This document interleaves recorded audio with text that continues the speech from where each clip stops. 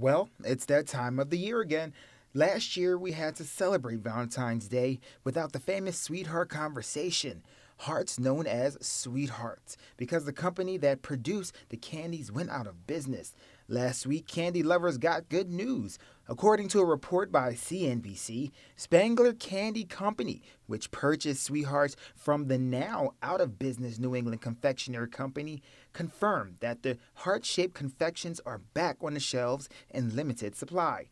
Spangler, known for the famous Dum Dum lollipops, purchased the rights to Sweethearts in 2018. However, Spangler announced last year that due to manufacturing challenges it faced from obtaining the new brand, Sweethearts were not produced in 2019. Spangler brought back the two old flavors from the New England Confectionery Company 118 year old recipe archives banana and winter green.